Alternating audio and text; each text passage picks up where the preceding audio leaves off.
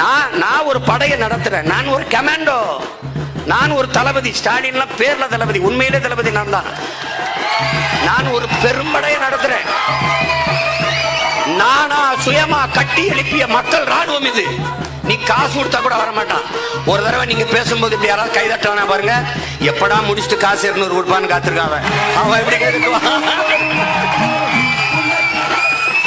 அந்த வகையில இதை எதற்காக குறிப்பிடுகிறேன் என்றால்